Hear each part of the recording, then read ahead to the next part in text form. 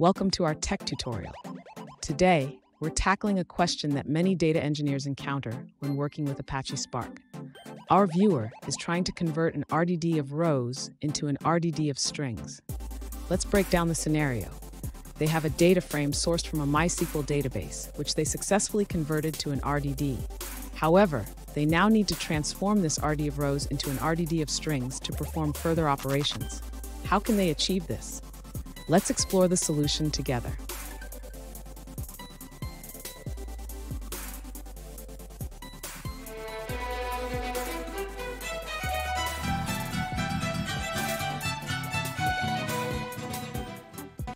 Welcome back to another technical video. We're gonna go through the question, the answer, and I hope that you get the solution.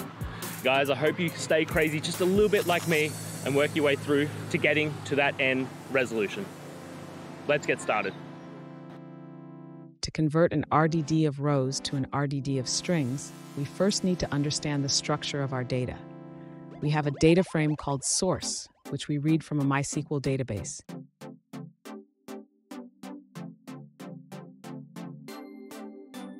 We convert the data frame to an RDD using the .rdd method.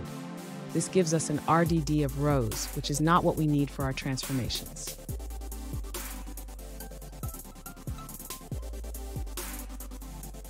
To transform this RDD of rows into an RDD of strings, we can use the map function. We will extract the string representation of each row.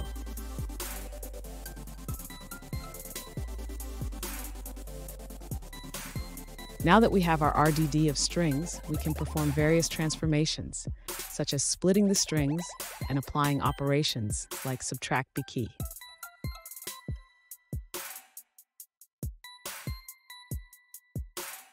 In summary, we read a data frame from MySQL, convert it to an RDD of rows, and then map it to an RDD of strings for further transformations.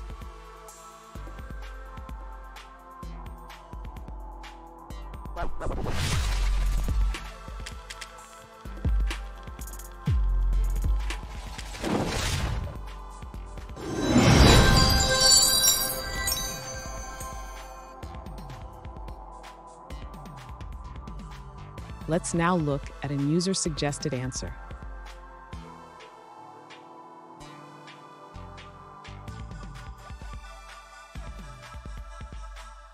To convert RDD of row to RDD of string, first check your schema. If it's just a string, you can easily convert it using a dataset.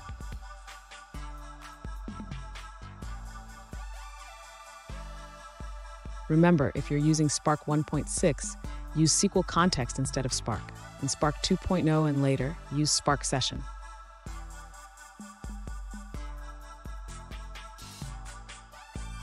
You can also create your own case classes or map rows directly from a data frame.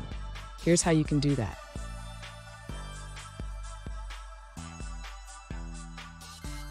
And that's it guys. I hope the video helped find the resolution that you're looking for and you got the answer and worked your way through. If it did, please hit subscribe, I'd really appreciate it. And until the next time you need technical help, I hope you have a good one.